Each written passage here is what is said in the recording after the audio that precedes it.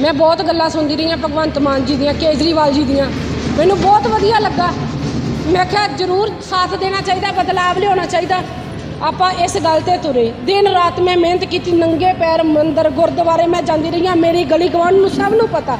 ਉਹਨਾਂ ਨੇ ਜਦੋਂ ਮੇਰੀ ਵੀਡੀਓ ਕੱਲ ਵੇਖੀ, ਉਹਨਾਂ ਨੇ ਮੈਨੂੰ ਕਿਹਾ ਵੀ ਕੀ ਗੱਲ ਤੂੰ ਸਾਨੂੰ ਦੱਸਿਆ ਕਿਉਂ ਨਹੀਂ?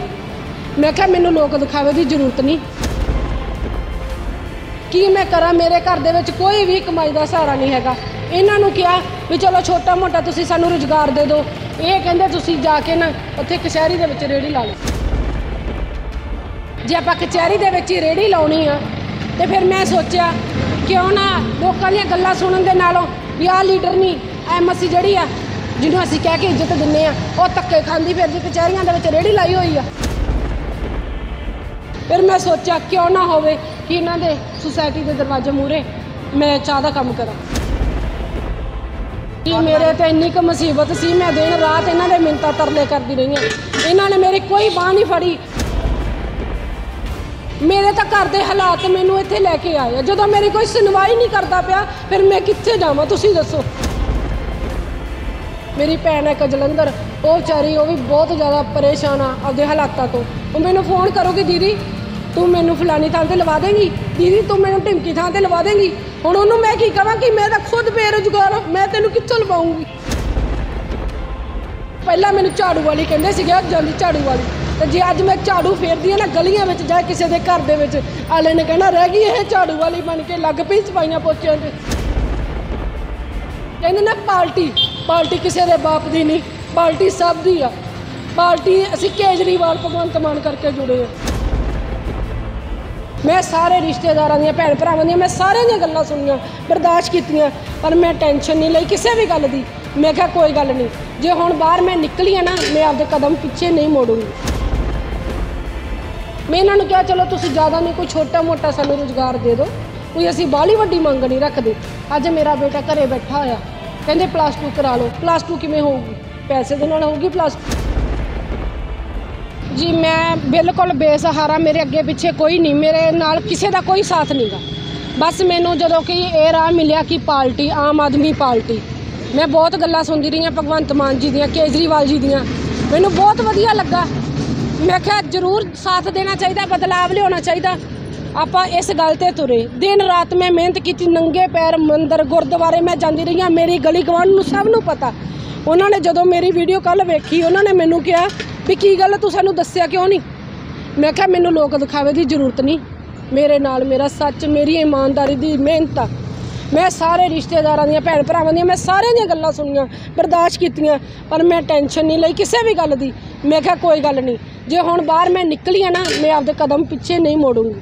ਮੈਂ ਦਿਨ ਰਾਤ ਇੰਨੀਆਂ ਕੁ ਮੈਂ ਸੁੱਖਾਂ ਸੁੱਖੀਆਂ ਨਾ, ਕਿਉਂਕਿ ਪੈਸੇ ਦੇ ਨਾਲ ਹੀ ਸੁੱਖਾਂ ਮੇਰੀਆਂ ਪੂਰੀਆਂ ਹੋਣੀਆਂ, ਉਹ ਹਜੇ ਤੱਕ ਮੇਰੀਆਂ ਸੁੱਖਾਂ ਐਂ ਹੀ ਪਈਆਂ। ਇਹੀ ਕਿਹਾ ਵੀ ਜਦੋਂ ਕੋਈ ਰੁਜ਼ਗਾਰ ਮਿਲ ਗਿਆ, ਚਲੋ ਜ਼ਰੂਰ ਮੈਂ ਕੁਛ ਨਾ ਕੁਛ ਕਰੂੰਗੀ।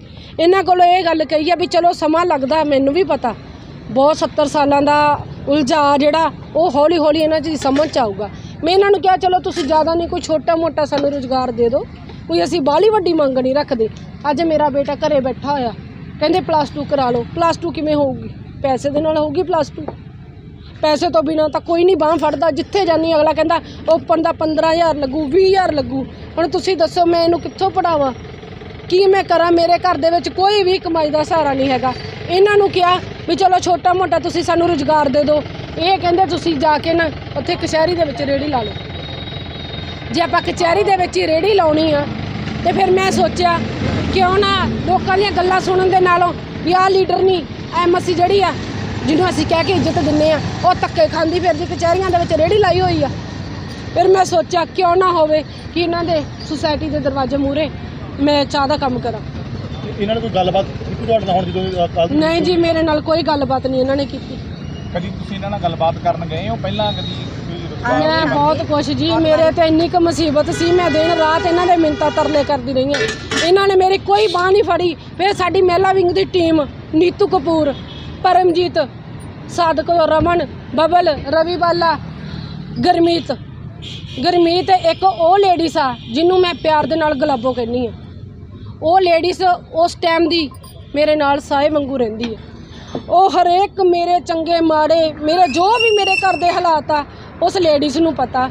ਪਰ ਉਹ ਲੇਡੀਜ਼ ਕਹਿੰਦੀ, ਪਰ ਮੇਰੀ ਮਜਬੂਰੀ ਆ, ਮੈਂ ਉਹਨਾਂ ਦੇ ਖਿਲਾਫ ਨਹੀਂ ਜਾ ਸਕਦੀ। ਮੈਂ ਕਿਹਾ, ਮੈਂ ਕਿਹੜਾ ਉਹਨਾਂ ਦੇ ਖਿਲਾਫ ਚੱਲੀ ਆ? ਮੇਰੇ ਤਾਂ ਘਰ ਦੇ ਹਾਲਾਤ ਮੈਨੂੰ ਇੱਥੇ ਲੈ ਕੇ ਆਏ ਆ। ਜਦੋਂ ਮੇਰੀ ਕੋਈ ਸੁਣਵਾਈ ਨਹੀਂ ਕਰਦਾ ਪਿਆ, ਫਿਰ ਮੈਂ ਕਿੱਥੇ ਜਾਵਾਂ? ਤੁਸੀਂ ਦੱਸੋ। ਕਹਿੰਦੀ, ਮੈਨੂੰ ਕਹਿੰਦੀ, ਕੋਈ ਗੱਲ ਨਹੀਂ, ਤੂੰ ਕੋਈ ਛੋਟਾ ਮੋਟਾ ਕੰਮ ਕਰ ਲੈ। ਜੇ ਅੱਜ ਮੈਂ ਛੋਟਾ ਮੋਟਾ ਵੀ ਕੰਮ ਕਰਦੀ ਨਾ ਅਗਲਿਆਂ ਨੇ ਕਹਿਣਾ ਅਸੀਂ ਤਾਂ ਇਹਦੇ ਕੋਲੋਂ ਨੌਕਰੀਆਂ ਮੰਗਦੇ ਪਏ ਆ ਮੇਰੇ ਰਿਸ਼ਤੇਦਾਰ ਜਾਂ ਮੇਰੇ ਕੋਈ ਭੈਣ ਭਰਾ, ਮੇਰੀ ਭੈਣ ਹੈ ਇੱਕ ਉਹ ਵਿਚਾਰੀ ਉਹ ਵੀ ਬਹੁਤ ਜ਼ਿਆਦਾ ਪਰੇਸ਼ਾਨ ਆ ਆਪਦੇ ਹਾਲਾਤਾਂ ਤੋਂ। ਉਹ ਮੈਨੂੰ ਫੋਨ ਕਰੂਗੀ, ਦੀਦੀ, ਤੂੰ ਮੈਨੂੰ ਫਲਾਨੀ ਥਾਂ ਤੇ ਲਵਾ ਦੇਂਗੀ? ਦੀਦੀ, ਤੂੰ ਮੈਨੂੰ ਢਿਮਕੀ ਥਾਂ ਤੇ ਲਵਾ ਦੇਂਗੀ? ਹੁਣ ਉਹਨੂੰ ਮੈਂ ਕੀ ਕਹਾਂ ਕਿ ਮੈਂ ਤਾਂ ਖੁਦ ਬੇਰੁਜ਼ਗਾਰ ਹਾਂ, ਮੈਂ ਤੈਨੂੰ ਕਿੱਥੋਂ ਲਵਾਉਂਗੀ? ਇੰਨੀ ਮਿਹਨਤ ਦੇ ਕਰਨ ਦੇ ਬਾਵਜੂਦ ਵੀ ਜੇ ਅਸੀਂ ਪੋਚੇ ਲਾਉਣੇ ਆ ਭਾਂਡੇ ਮਾਂਜਣੇ ਆ ਤੇ ਫਿਰ ਸਾਨੂੰ ਫਾਇਦਾ ਕੀ ਸੀ ਇਹਨਾਂ ਨਾਲ ਇਲੈਕਸ਼ਨ ਕਰਨ ਦੇ? ਦਾ? ਦੌਰਾਨ ਤੁਸੀਂ ਇਹਨਾਂ ਦੇ ਨਾਲ ਕੰਮ ਕੀਤਾ ਕਿ ਉਦੋਂ ਇਹਨਾਂ ਨੇ ਤੁਹਾਡਾ ਕੋਈ ਕੀਤਾ ਸੀ ਵਾਅਦਾ? ਵੀ ਕੁਛ- ਤੁਹਾਨੂੰ ਨਹੀਂ ਇਹਨਾਂ ਨੇ ਕੋਈ ਵਾਅਦੇ ਕੀਤੇ? ਜੀ। ਕੀ ਵਾਅਦੇ ਕੀਤੇ? ਵਾਅਦੇ ਕੀਤੇ ਸੀ ਇਹਨਾਂ ਨੇ ਮੈਨੂੰ ਕਿਹਾ ਸੀਗਾ ਤੂੰ ਟੈਨਸ਼ਨ ਨਾ ਲੈ ਅਸੀਂ ਤੇਰੇ ਨਾਲ ਆ। ਅਸੀਂ ਤੇਰੇ ਸਿਰ ਤੇ ਹੱਥ ਰੱਖਾਂਗੇ, ਤੇਰੇ ਹਰ ਦੁੱਖ ਸੁੱਖ ਵਿੱਚ ਤੇਰਾ ਸਾਥ ਦੇਵਾਂਗੇ। ਪਰ ਜੋ ਵੀ ਮੇਰਾ ਦੁੱਖ ਸੁੱਖ ਆ, ਜੋ ਵੀ ਇਹਨਾਂ ਨੇ ਮੈਂ ਆ ਕੇ ਦੱਸਿਆ, ਪਰ ਇਹਨਾਂ ਨੇ ਮੇਰੀ ਕੋਈ ਵੀ ਸੁਣਵਾਈ ਨਹੀਂ ਕੀਤੀ। ਅੱਜ ਮੈਨੂੰ ਸਾਰੇ ਗੱਲਾਂ ਬਾਤਾਂ ਕਰਦੇ ਆ, ਜੋ ਵੀ ਮੇਰੇ ਰਿਸ਼ਤੇਦਾਰ ਆ, ਮੇਰਾ ਸ਼ਰੀਕਾ, ਸਾਰੇ ਕਹਿੰਦੇ ਆ ਵੀ ਉਹ ਫਿਰਦੀ ਧੱਕੇ ਖਾਂਦੀ। ਪਹਿਲਾਂ ਵੀ ਮੈਂ ਧੱਕੇ ਖਾਂਦੀ ਫਿਰਦੀ ਸੀ, ਹੁਣ ਵੀ ਮੈਂ ਧੱਕੇ ਖਾਂਦੀ ਫਿਰਦੀ। ਜੇ ਕਹਿੰਦੇ ਨਾ ਝਾੜੂ ਪੋਚਾ, ਅਗਲੇ ਇਹ ਕਹਿੰਦੇ ਸੀ, ਪਹਿਲਾਂ ਮੈਨੂੰ ਝਾੜੂ ਵਾਲੀ ਕਹਿੰਦੇ ਸੀਗੇ, ਅੱਜ ਜਾਂਦੀ ਝਾੜੂ ਵਾਲੀ।